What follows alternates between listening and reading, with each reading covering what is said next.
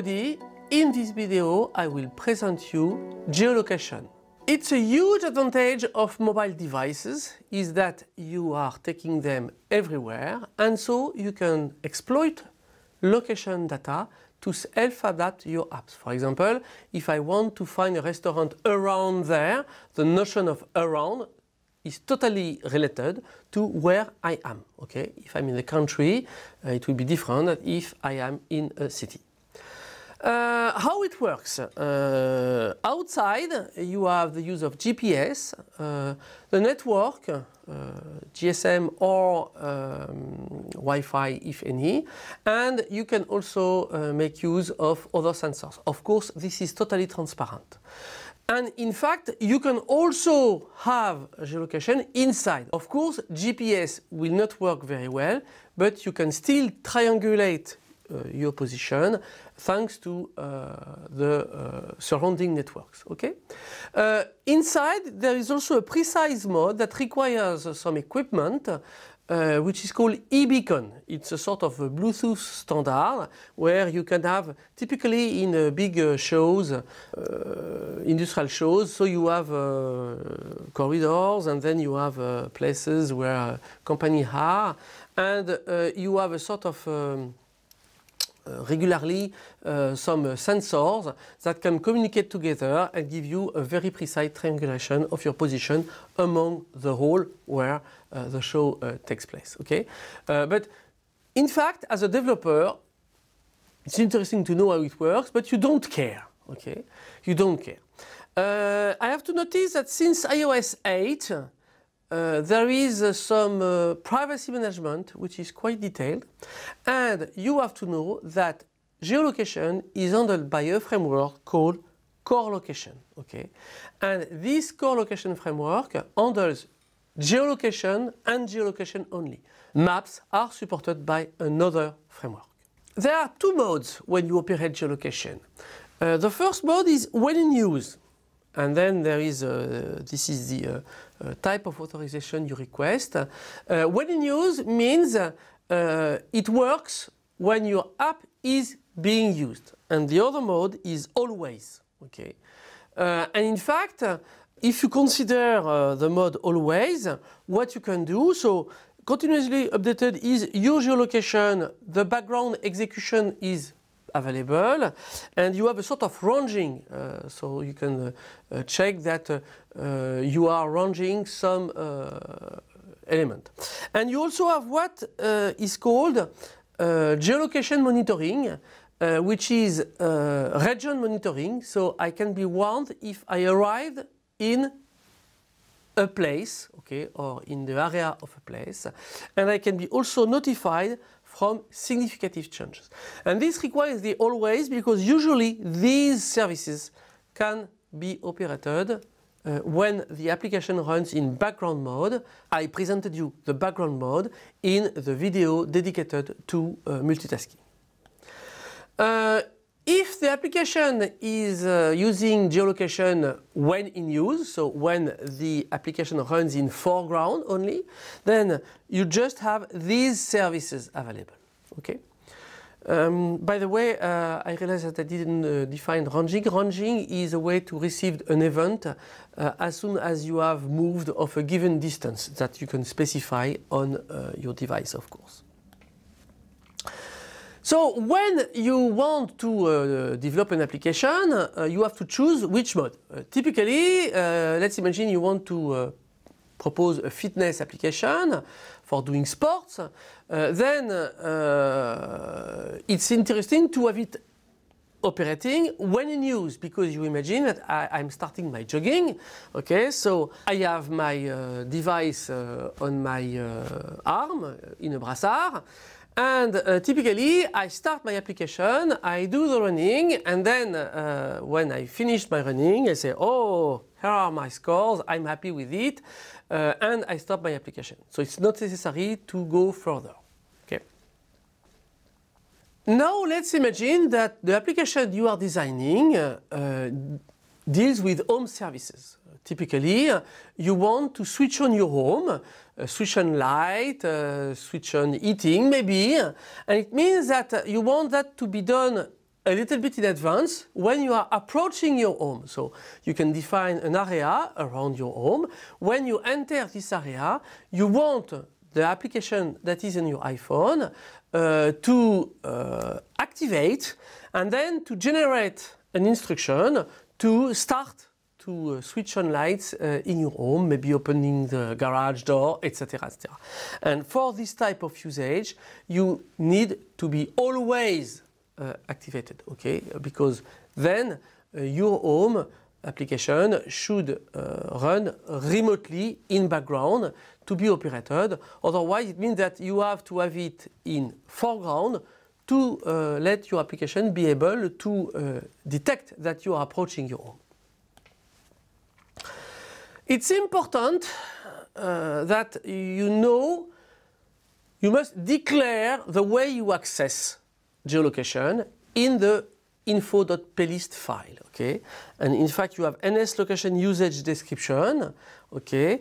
NS location always usage description and NS location when in use usage description, uh, knowing that always includes when in use.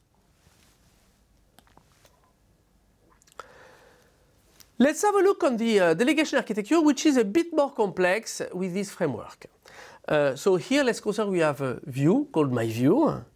This my view will create a CL location manager, so the entity that is handling geolocation for uh, my view. And it will also create a delegate that will handle the uh, associated protocol and of course, it will set the delegate so that the protocol can, if necessary, invoke the methods that are supported by my location delegate. Okay, so this is, you know, quite traditional. And in fact, usually uh, you do it for myself. Okay, so this is the typical situation. But once again, you are used to this architecture of uh, delegation. Core location is a framework uh, that uh, allows you to use CL location manager and to manage CL location manager. So you can create it as usual, okay. Then you set the delegate. Uh, then you can start and stop geolocation, okay, using uh, these two methods. I give you this name in uh, Swift, but uh, I think they are similar in Objective-C. You can also start stop the headings. Location is your position on the globe. The headings is your orientation relatively to uh, the uh, north, magnetic north or perfect north. And then uh, you have to uh, support the uh, CL Location Manager Delegate protocol. And I just uh, uh, show you the three main methods, uh, which are Location Manager did fail with error, there is a problem, so you couldn't perform location. Okay. Location Manager did update location, so location has been performed, it's finished. Okay, and location manager did update heading the same for uh, the orientation. So let's imagine that I'm doing this, then the headings will change, but not the uh, location. For other methods, you have quite a lot. Have a look at the fantastic manual, please. You can set the precision and the accuracy that you want. There is a property, desired accuracy, okay. Uh, so you can do best for navigation, accuracy best, nearest 10 meters, nearest 100 meters, kilometers or 3 kilometers. And of course, uh, 3 kilometers will spoil less energy than 10 meters. Okay? So uh, you have to choose according to the type of uh, application you are performing, which one you need. Of course, if you are uh, moving slowly, maybe you need 10 meters.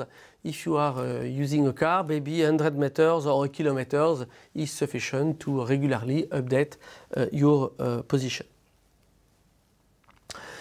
You also have to be careful between geolocation and privacy. In fact, uh, you must request authorization. If you don't do it, then core location services will not be operated. Okay, so you first have to check that location services are enabled for all applications. Okay, and of course it relies on the preference settings of the device you are running on. Okay, and in fact, uh, if uh, authorization is granted by default, then the first execution of your app generates such a message. This message is not supported by you, it's supported by the operating system, so you don't have to care about that. And uh, so it uh, let the user be aware that you are using geolocation. Okay? And uh, you must also check availability of, alors, not uh, geolocation because uh, all devices include geolocation, but of headings using the method heading availables uh, because in fact in some devices, typically iPods, you don't have headings available. If you want uh, to check uh, for uh, authorization. You can also go in uh, privacy location uh, services in the preference panel. Here you can activate or deactivate global privacy.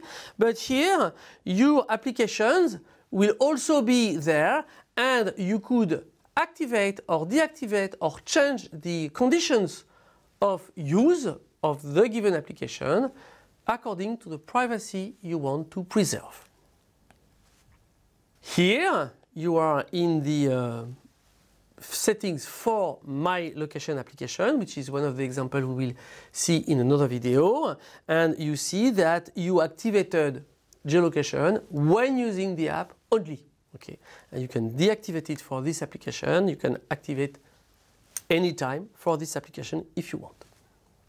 You have to know that if uh, the user enables always mode for your application, then there will be an authorization reminder in the next 48 hours, okay, to let the user be sure of what he is doing. And once again, you don't have to care about that. This is totally handled by iOS. So let's consider now we are in a situation where core location services are activated. So we have some types to manipulate the corresponding information. The first one that deals with location data is called CL location. Uh, you can extract coordinates. This is the type of the coordinates you can get. The altitude, a timestamp, which is a date, just to know uh, when the information was collected. The speed of the device and a course, which is in fact uh, the direction uh, the device is traveling to. Okay. Uh, here, CL headings deals with this magnetic north orientation and you have uh, magnetic headings and true headings which basically give you the distance in an angle uh, relative to the magnetic north or to the true north uh, and you get three variables x, y and z uh, in micro Tesla that are uh, in fact electromagnetic data within the X, Y and Z axis. Personally, I know how to fetch this data. I absolutely don't know how to use them. Probably you need a bit of uh, physics uh, to be able to capture this information. You should not forget a few stuff. First of all, First of all, you must include core location, which is done here, okay? Because it's a separated framework. We are used to that, okay? Uh, then you must specify, if necessary, that you use core location in background, okay? So you activate the background mode and you set up, you tick this uh, zone, and then you can uh, benefit from background uh, handling of core location services. And finally, you must set the corresponding flags in the info.py plist uh, file. Uh, so uh, I just uh, outline uh, what is changed here to declare that your application will use one mode or the other according to what you decided. Uh, the possible keys you have to set up in the info.plist are NS location when in use usage description, NS location always usage description, and iOS 11 also introduce NS location always and when in use usage description. And typically these elements describe text that will be shown in the preference panel just to let the user understand why you need such services.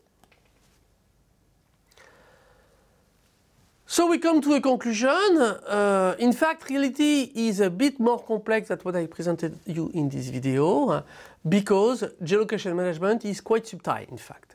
Uh, and uh, you will see that a bit of practice is quite useful in uh, order to be able to uh, make a comfortable use of geolocation. But you have the bases. Uh, be aware of the numerous traps you have uh, in this framework. And to avoid these traps, uh, reading the Fantastic Manual is strongly recommended. Uh, it's important, once again, to remind that you must require authorization from the user. Uh, and Apple suggests that you do it not too early. For example, if you have uh, an application with lots of uh, features and one feature requires authorization, but uh, you may not use this feature, don't request for geolocation when starting the application, okay? But just the first time you need the feature, for example, okay? So uh, it must be as late as possible, but of course prior to do the start updating location or start updating headings. Thank you for your attention. See you later.